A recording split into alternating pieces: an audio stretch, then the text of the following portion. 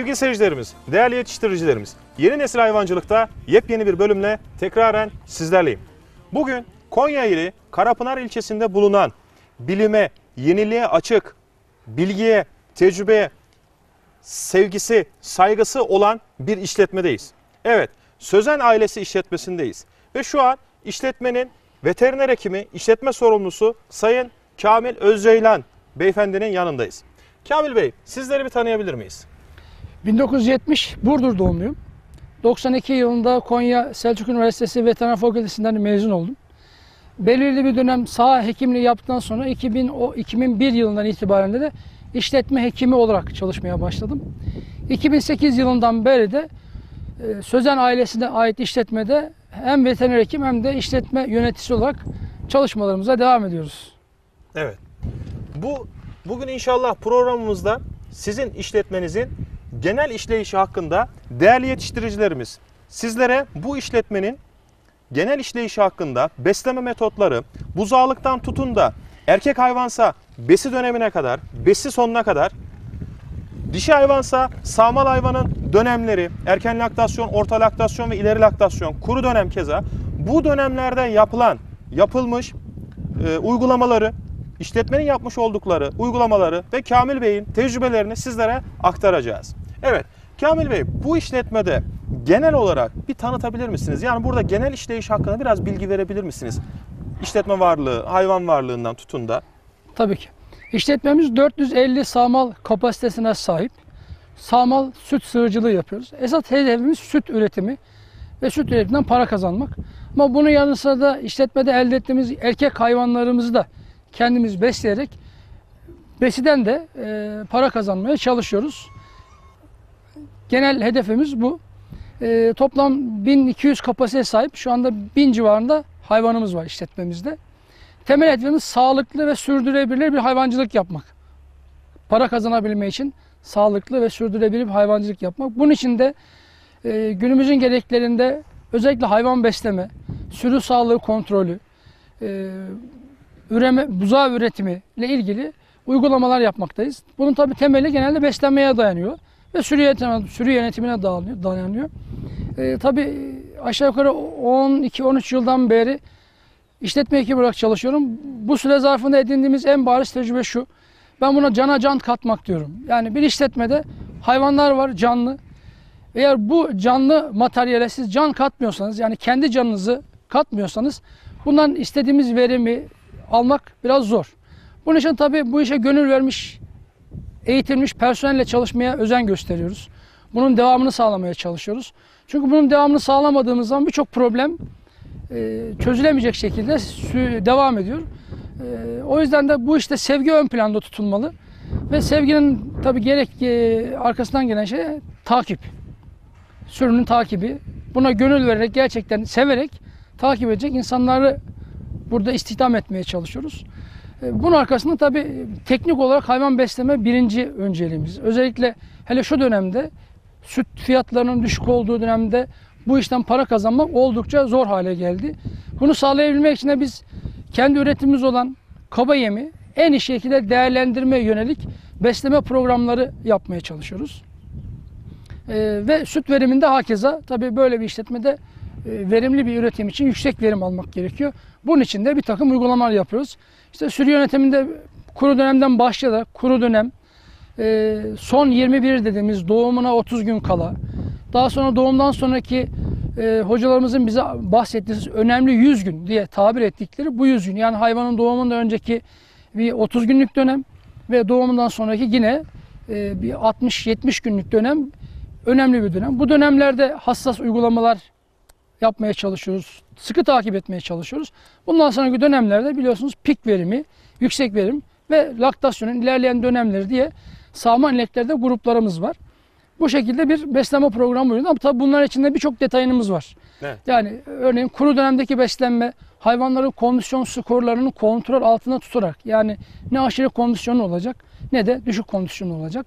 Bunu kontrol altında tutmuyoruz, çalışıyoruz. Tabii bu daha çok geç laktasyonda ki uyguladığımız beslenme programına göre e, kontrol altına tutuyor. E, burada zaten eğer hayvan kondisyonu çok yüksek değilse ya da çok düşük değilse ekstra bir uygulama yapmaya gerek yok. Burada kontrol altında tutmak gerekiyor. Hayvan kuruya çıkartılıyor. Kuruya çıkarttıktan sonra kuru dönem. Bu kuru dönemdeki beslenmemiz bizim hayvanın fizyolojik ihtiyacını karşılayacak kadar ne aşırı ne de az olmayacak şekilde dengeli bir beslenme. Özellikle saman ağırlıklı.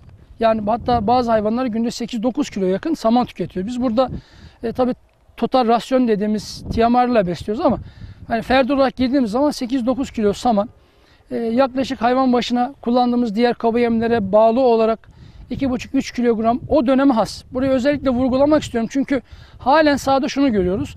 Kuru dönemdeki hayvanlara e, kuru dönem yemini özel bir yem değil sıradan bazıları süt yemi bazıları besi yemi kullanarak buradaki hayvanlarını beslemeye çalışıyor.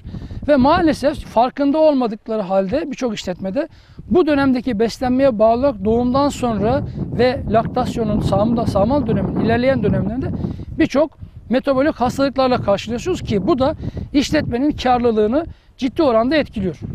Ki herkese bundan sonraki dönem belki burada biraz üzerinde durmak istiyorum. Son 21 dediğimiz yani hayvanın doğumuna 20 gün kalan dönem. E, Düvelerde biz bunu 30 güne uzattık. Bunun da faydalarını görüyoruz. Çünkü düvenin doğuma hazırlanma periyodu biraz daha uzuyor. O yüzden 30 gün önce biz bu hayvanları bu e, son 21 dediğimiz uygulamaya düvelerde 30 gün önce alıyoruz. Burada yaptığımız temel amaç şu. Hayvanın doğumundan sonraki özellikle tüketiciye yeme hazırlık yapmak. Hem hayvanın vücudunu hazırlamak hem de özellikle rumeni, işkembeyi bunu hazırlamak. Aynı zamanda da hayvanın doğumdan sonra karşılaştığımız bizim işletmelerdeki en çok e, kaybettiğimiz, verim kayıplarına neden olan hastalıklarımız işte örneğin bir hipokalsemi yani süt felci dediğimiz hastalık. Bir abomazım deplasmanı ya da midenin yer değiştirmesi dediğimiz. E, ketozis dediğimiz yağlı karaciğer sendromunun temel sebeplerinden biri olan özellikle üretimde süt reyinde çok ciddi kayıplar neden olan ketozis hastalığı. Yavru zarların atılması ve tabii bundan sonra hayvanın e, kızgınlık göstermesi ve gebe kalması. Aynı zamanda meme ödemi. Bakın şu anda herhalde bir 5-6 tane hastalık saydık. Evet. E, bu hastalıkların %80'i bu son 21'deki yaptığımız uygulamalarla azaltılabilir. Yani hakeza son yıllarda yaptığımız daha ince ayarlarla, hassas e, dengelerle biz burada mesela daha önce ben hekim olarak şöyle söyleyeyim. İşletmede çalışıyorum. Diyorum ki %10 retensiyon yani hayvanın eşini atmaması. Ya normalde ne yapalım? Bunun tedavisini yapacağız.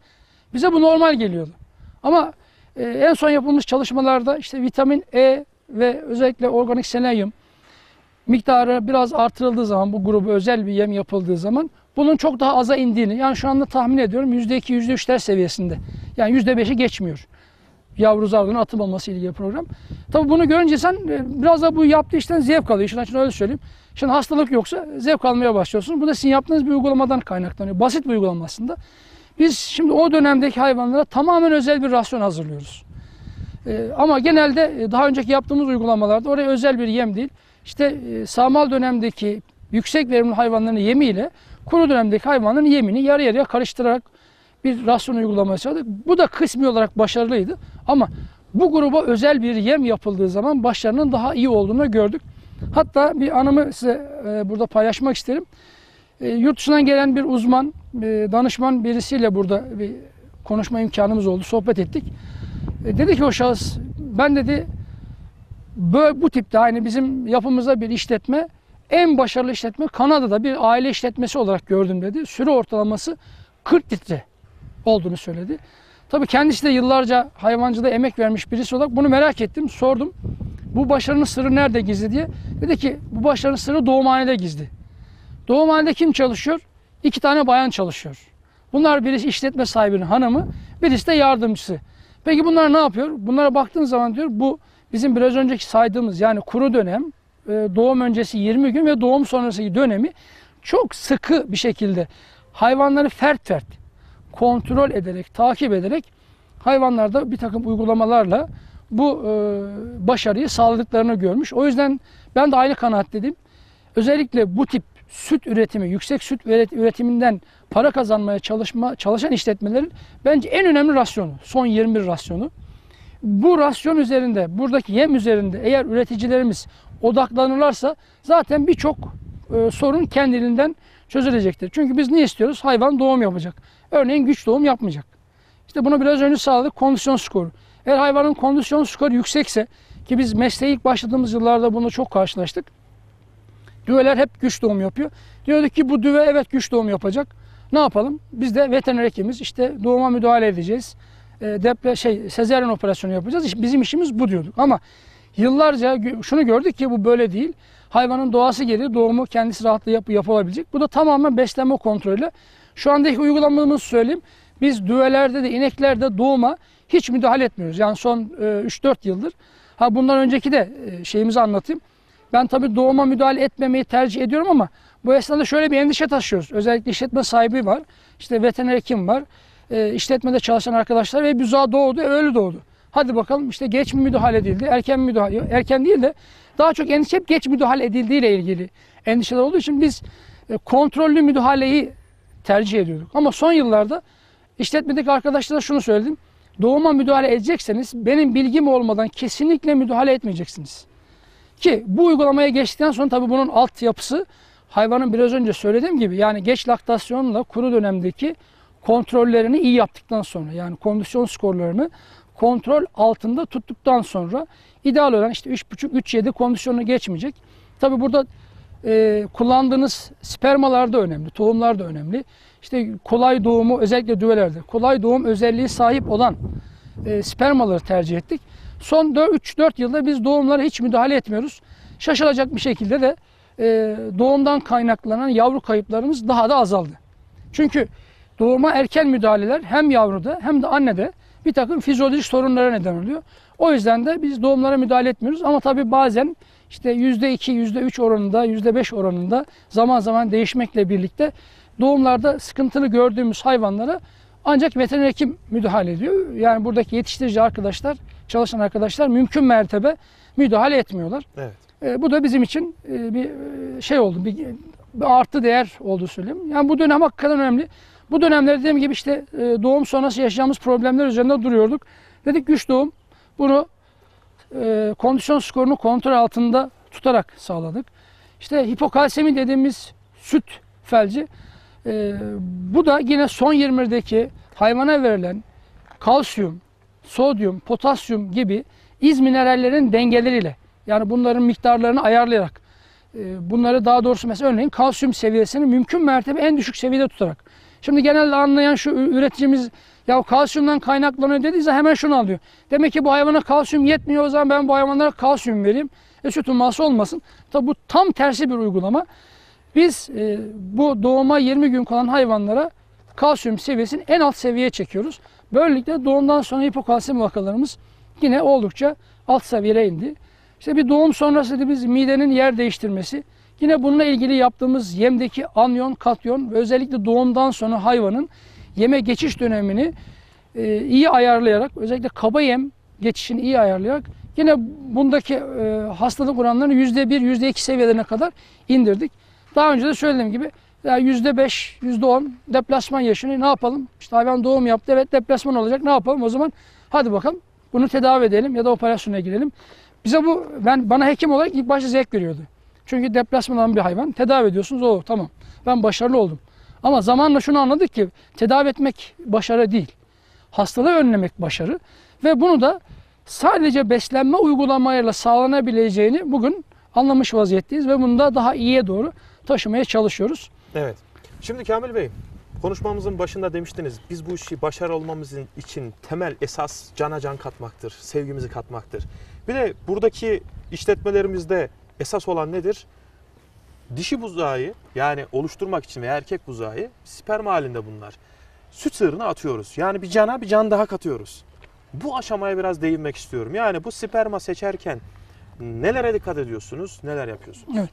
Tabii bizim buradaki asıl amacımız süt üretimi olduğu için süt verimi yüksek boğalardan sperm almaya çalışıyoruz. Ama son yıllarda ortaya çıkan tablo da şu. Süt verimini artırmaya çalıştıkça hayvanların day hastalıklara karşı dayanıklılığın ve üreme performanslarının azaldığı görülüyor. Bu dünyadaki yapılan araştırmalarda şu anda en fazla üzerine duran konu bu.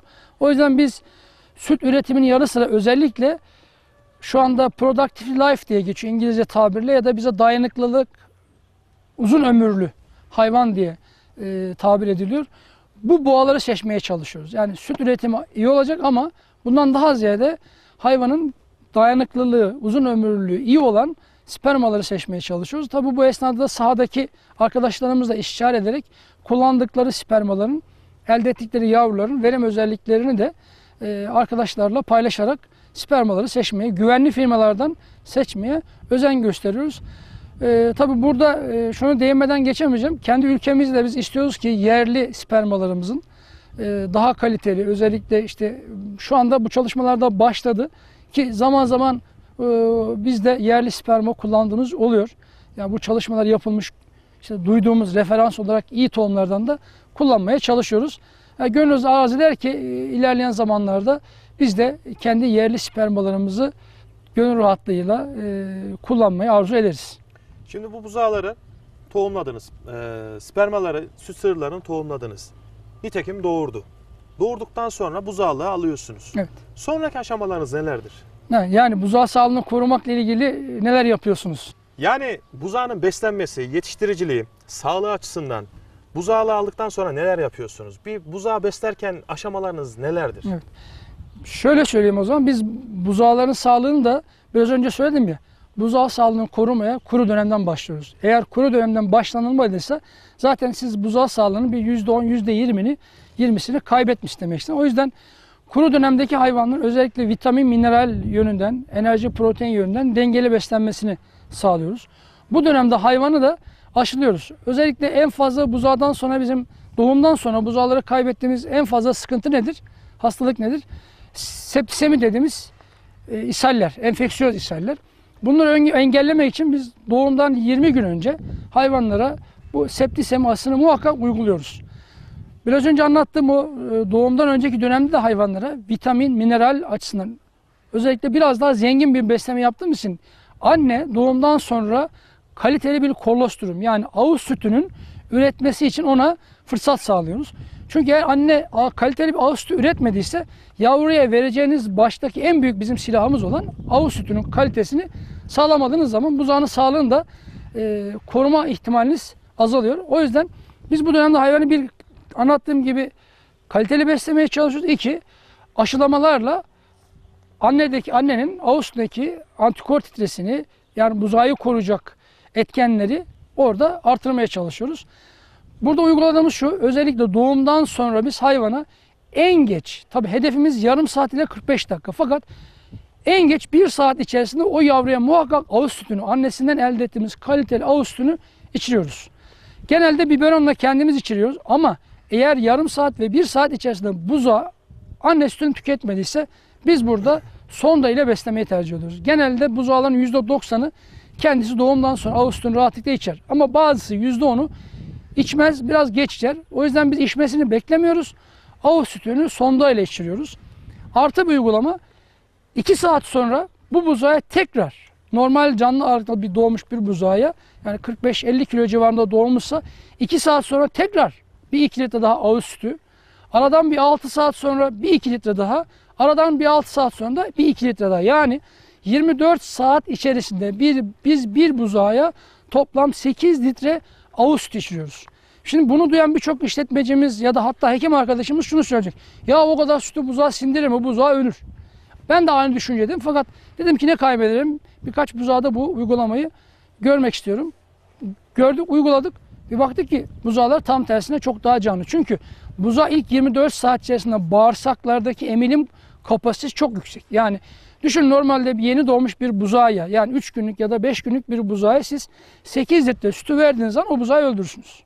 Ama doğumdaki o ilk 24 saatte verdiğiniz zaman bağırsaklar açık olduğu için gözenekleri o verdiğiniz sütün tamamını sindiriyor. Hem hastalıklara karşı çok dirençli hale geliyor hem de hayata kuvvetli tutunabilecek bir e, enerjiye sahip oluyor. Ve buzağlar çok daha canlı oluyor. Ben bunu şöyle tabir, tabir ediyorum. Buzağınız doğdu. Yarım saat içerisinde birinci ağız sütünü içirdiniz. 2 saat sonra bir daha. işte 6 saat sonra bir daha, 6 saat sonra bir daha. Bu buzağı eğer kaliteli bir ağız sütünü bu şekilde verdiğiniz zaman o buzağının ölmesi için sizin kurşun sıkmanız lazım diye tabir ediyorum. Tabii bundan sonraki uyguladığımız uygulamalar da önemli. Özellikle hijyen dediğimiz yani temizlik dediğimiz konu buzağlar için çok önemli. Doğumdan sonra biz buzağı en fazla yarım saat. Hatta bazıları buzağının annenin yanında hiç durmamasını tavsiye ediyorlar. Ama ben bunu hani sosyal açı hayvanın e, psikolojisi açısından çok uygun görmüyorum. En azından bir 15-20 dakika buzağı koruyuncaya kadar kuruyuncaya kadar annesinin yanında kalmasını tercih ediyorum. Daha sonra tamamen yeni doğan buzağlar için ayrılmış bir boksumuz var. Orada buzağları 4-5 gün boyunca orada ayrıca annesinden sağladığımız ağız sütünü veriyoruz. Burası da önemli. Özellikle büyük işletme işletmelerde e, eğer inekler karma sağlıp bütün sütler karıştırıp buzağlara verildiği zaman bir takım sıkıntılarla karşılıyorsunuz. Çünkü o buza bir günlükse bir gün önceki doğum yapmış bir annenin sütünü, iki günlükse iki günlük annenin sütünü, üç günlükse üç günlük annenin sütünü emmesi lazım. Daha önce biz karışık uygulama yapıyorduk. E, ishal problemlerle karşılıyorduk. Bunun sebebi nedir nedir derken tabii aklıma hemen şu geldi benim. Şimdi bir buzağı doğduğu zaman doğada ya da eski ananevi usullerde buzağı annesinin yanında durur ve annesini emer. Eğer temiz bir ortamda emdiği zaman buzağı genelde ishalle karşılaşmaz. Fakat biz burada biberonla yani elle beslediğimiz için eğer siz bir gün önce doğmuş bir buzağa, dört gün önce doğum yapmış bir buzağa annenin sütünü verdiğiniz zaman ishal vakalarının arttığını gözlemledik. O yüzden şu anda sağlanan her sütün üzerine numarası yazılır biberonlara. Bunlar e, emzirme yapacak arkadaşa verilir. Arkadaş biberonun üzerindeki numaraya göre buzağları besler. Bu uygulamanın da biz iyi olduğunu gördük.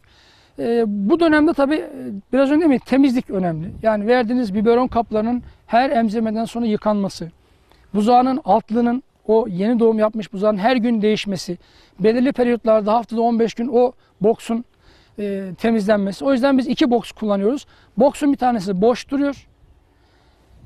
Diğer boks dolduğu zaman işte bir orada yaklaşık 5-6 hayvan kapasitesi var. 5-6 hayvan olduğu zaman doldum hemen diğer boksa geçiyoruz. Öbür boks boşaldığı zaman temizleyip onu da temiz halde tutuyoruz.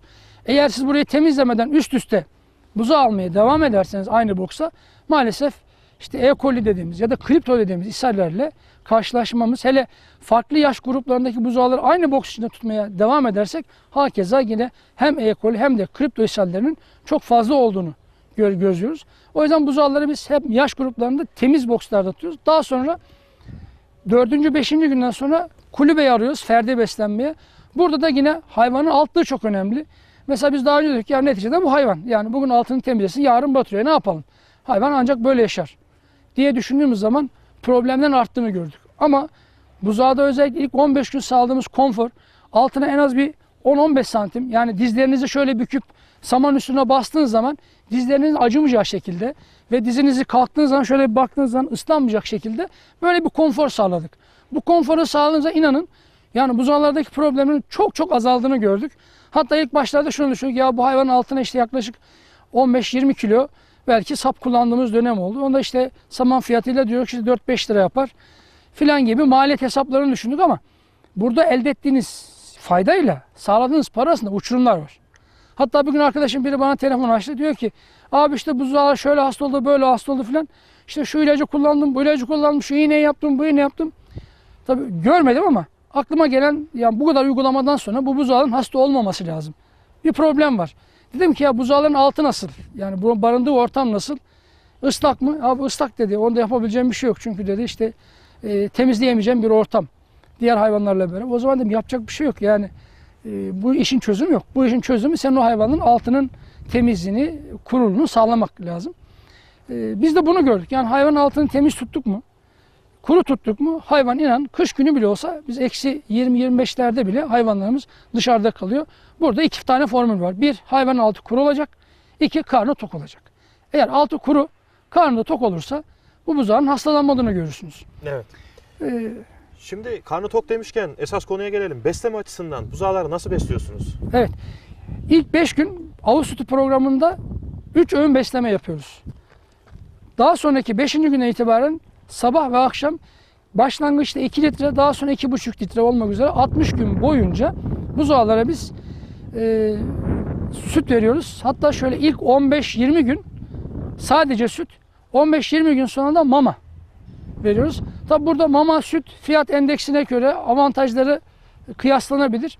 Ama mama biraz da kontrollü besleme için tercih ama ilk 15-20 gün muhakkak biz anne sütünü buzağlara veriyoruz. Bu da dediğim gibi küçük buzağlarda ikişerden 4 litre, büyük buzağlarda 2,5'tan 5 litre.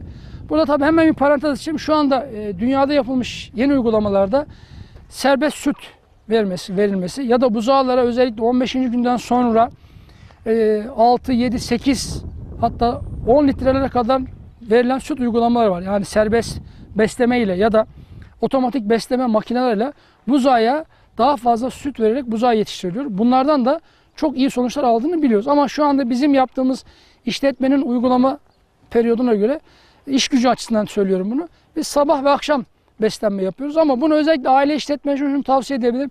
3 öğün besleme yapabilirler. Buzağının canlı ağırlıklarına göre fertler takip ederek bu buzağa 2, 2, 4, 6 litre günlük süt verebilirler. Bundan da iyi sonuç alacaklarını tahmin ediyorum. Ama bize standart günlük 5 litre 60 gün buzağa Evet. süt ya da mama veriyoruz. Yemse buzağı kaliteli bir buzağı yemi bu önemli. Bakın yani piyasada tabii çok e, farklı yem üreten işletmeler var, firmalar var. Bunların fiyatları var.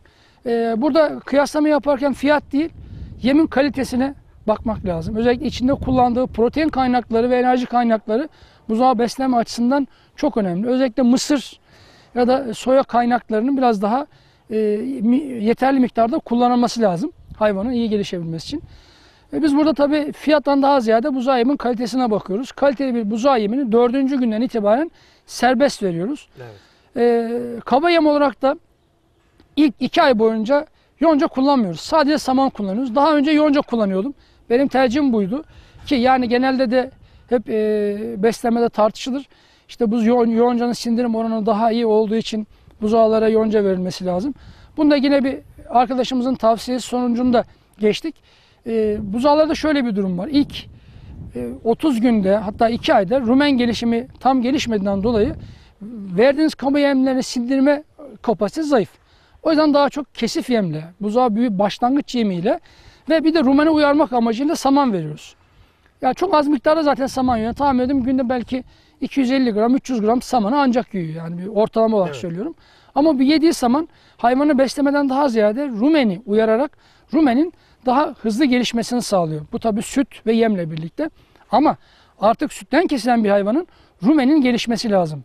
Ve be- belirli bir miktar gelişti, daha iyi gelişmesi lazım. Bunun için de artık yonca vermeye başlıyoruz. 6. aya kadar serbest yonca ve serbest buzağı büyütme yemiyle beslemeye devam ediyoruz. 6. aydan sonra erkeklerimizi besi programına, dişi düvelerimizde damızlık besleme programını alıyoruz. 6 ayla 14 ara, ay arası yani 6 ay ile 14 arası tohumlamaya gelinceye kadar ki dönem bir ayrı besleme var. Burada hayvanın büyümesi için gerekli besin maddelerine göre rasyonlar yapılıyor. Daha sonra 14 ay ile 18 ay yani tohumlama yaşı ile gebe kalma arasındaki beslenme periyodumuz yine ayrı. Gebe kaldıktan sonraki beslenme periyodumuz yine ayrı. Biraz önce söyledim. Bundan sonra artık dediğim gibi gebenin ilerleyen döneminde son bir ay işte laktasyonun yani doğumdan sonraki 0-30 gün burada çok biraz önce değinmedik ama bu 0-30 günlük grup da çok önemli. Yani yeni doğum yapmış bir hayvan biz buna yani ben e, sosyal konfor diyorum. Eğer biz yeni doğum yapmış bir hayvanı özellikle düveleri karışık bir grubun içine gönderdiğimiz zaman o hayvan orada sıkıntıya girecek, strese girecek, yem tüketmeyecek. İşte e, yeterli hareket etmeyecek ve bu hayvan süt vermeyecek, e, gebe kalmayacak, kızgınlık görecek bir sürü problem.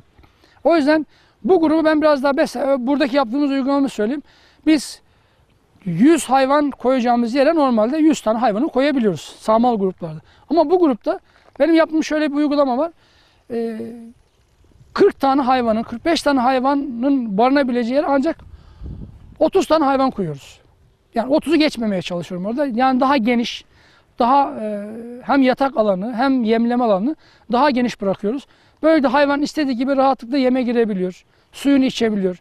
Gidip rahatlıkla yatabiliyor. Örneğin burada işte görüyorsunuz şurada bizim orta laktasyondaki hayvanlarımız var. Ama hemen yanında da bizim 0-30 günlük dediğimiz hayvanlar. Burada gördüğünüz gibi kalabalık bir grup ama orada çok az bir hayvan rahat bir şekilde sere serpe yatıyor. E, psikolojik olarak doğum sonrası rahat olan hayvan daha sonraki dönemde laktasyonda da hem süt verim açısından hem de döl verim açısından daha iyi e, verim verdiğini burada gözlemlemiş olduk. Tabii hemen hayvancılık işletmede stres deyip geçiyoruz. Yani buzağlarla ilgili hemen burada yaptığımız bir daha birçok yerde yapılıyor artık bu uygulama. Yani bizim yaptığımız uygulamayı paylaşmak isterim. Buzağlar sütten kesildikten sonra genelde şöyle bir problemle yaşarız. Yani bütün hekimler arkadaşın en fazla şikayet ettiği konudur. Ya buzağlar sütten kestik hayvanlar pneuman oldu, öksürük oldu. İşte burun akıntısı, öksürük, işte kesemedik. Şu ilacı kullandık, bu ilacı kullandık. Ben de aynı şekilde e, bunu hep okuduğumuz zaman kitaplarda şunu diyoruz. Sütten kesme döneminde yaşanan stres. Derdi ki bu yaşanacak. Öyleyse buna uygun tedavi protokolleri geliştirelim. Ama burada yaptığımız uygulama şöyle bir uygulama oldu. Biz buzağı sütten kestikten sonra kalabalık gruplar yerine 10 hayvanın 12 hayvanın barınabileceği iglo dediğimiz büyük kulübeler aldık. Bu büyük kulübelerde hayvan önce sosyal yaşama alışıyor. Kalabalık grupta yaşamıyor. Önce kulübede bireysel yaşarken daha sonra büyük kulübede 8-10 hayvan bir arada yaşamayı öğreniyor. Burada yine aynı beslenmeye devam ediyoruz. Yani tek yaptığımız uygulama bireysel kulübeden alıp daha kalabalık bir şey orta bir gruba yani 8-10 hayvanın barınabileceği bir gruba ayırıyoruz. Kulübeye alıyoruz. Beslemede süt emerken saman, kesif yem, başlangıç Doğrudur. yemi. Evet.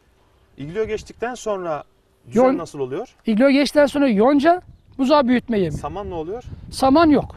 Burada saman yok. Evet. Ama e, şu, orada şunu belirteyim. Tabii kullanılan yemin protein oranına göre eğer yüksek proteinli bir yem kullanıyorsanız kullandığınız yonca da çok kaliteliyse biz zaman zaman onu yapıyoruz. Az miktarda da saman kullanmak gerekebilir ama bu tamamen e, gözlemle buzağın ihtiyacına göre bir ama genel uygulamamız buzağı büyütme yemi ve yonca serbest kullanıyoruz. Burada şunu yaşadık. Biz sütten kesildikten sonra hani diyorduk ki hayvan stres yaşayacak ve hasta olacak. Bakıyorum hayvanlara ha bugün hasta olacak, ha yarın hasta olacak. İlk uyguladığımız zaman gördük hayvanlar hasta olmuyor. Ha o zaman şunu anladık. Demek ki bu hayvanlar sosyal yaşama alışırken de bir geçiş dönemi atlatmaları gerekiyor. Daha sonra biz burada 15-20 gün hatta şöyle söyleyeyim eğer buna uygun yetiştirme modelleri geliştirebilirse hayvanları kalabalık gruplara almak yerine 8-10 hayvanlık böyle ferdi iglo şey e, grup iglolarında ne kadar uzun süre besleyebilirsek e, hayvanların gelişmesi ve hastalıklara karşı dayanıklı olmanın daha iyi sonuç alacağını düşünüyorum. Biz burada 15-20 gün bu grup beslemesi yaptığımız o büyük kulübelere tutuyoruz. Daha sonra ana işletmemize genç hayvanların olduğu işletmeyi alıyoruz. Burada da aşağı yukarı 30'luk 20 20 ile 30'lu gruplar halinde besliyoruz.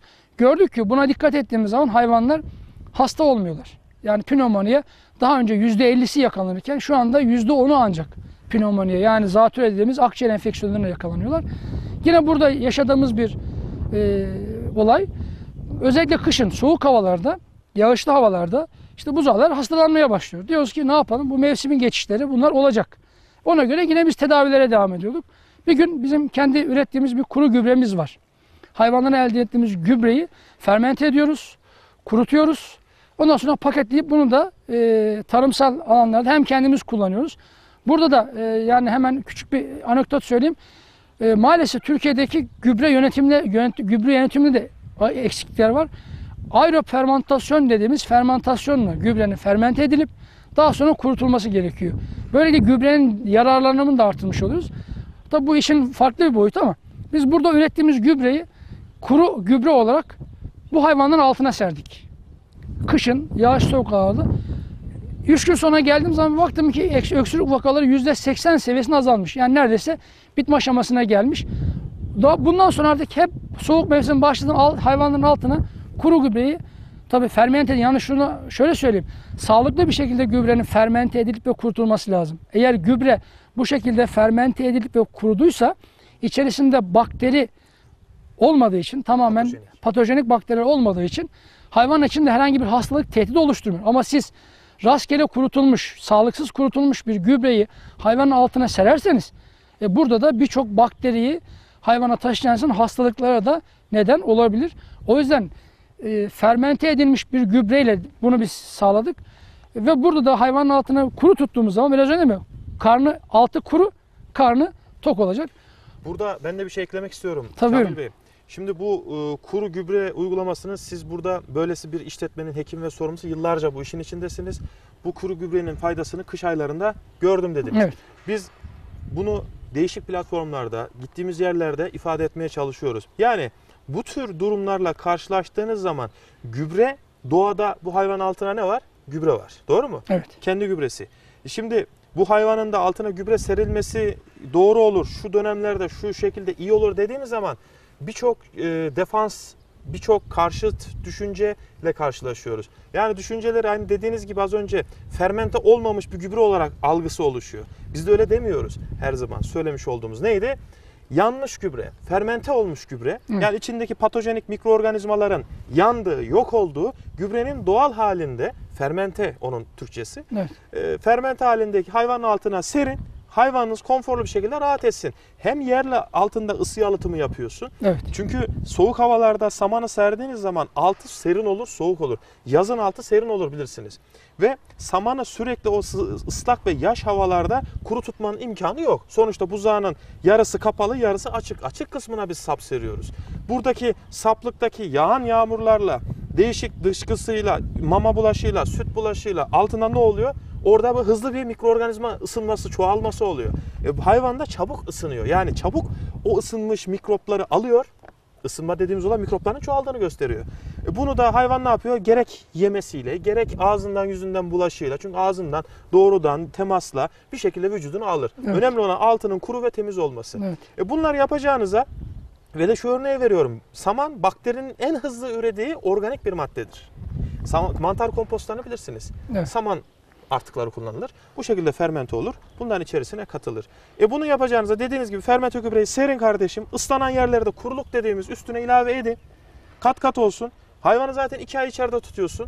Bir ay bu bir ay sonunda sen onu temizle ya da iki ayda bir temizle. Zaten kemre dediğimiz yakacak bile oluşur. At köşeye başka şekilde değerlendirirsin. Biz buzağlarda e, süt emme döneminde değil, daha çok sütten kestiğimiz, özellikle genç hayvanlarda, 3-6 aylık dönemdeki hayvanlarda Evet. bunu yapıyoruz.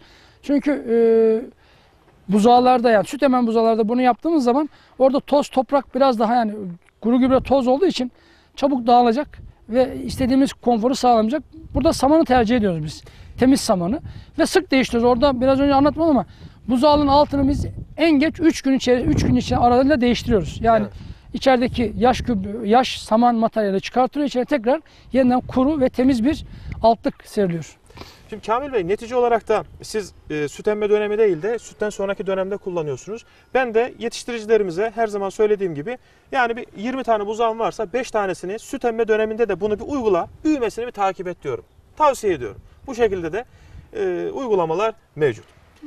Değerli yetiştiricilerimiz, görmüş olduğunuz gibi her işletmede farklı farklı uygulamalar var. Bizler yeni nesil hayvancılık olarak bu farklılıkları sizlere her zaman aktarıyoruz, aktarmaya da devam edeceğiz. Bugün sizlere bir işletmenin genel işleyişi hakkında Karapınar ilçe Konya ili Karapınar ilçesinde bulunan Sözen ailesi işletmesi veteriner hekimi Kamil Özceylan beyefendi ile beraberdik. Kendisinden işletme hakkında genel işleyişler, genel bilgiler, tecrübelerini aldık. Sizlerle de paylaştık. İnşallah faydalı olmuşuzdur.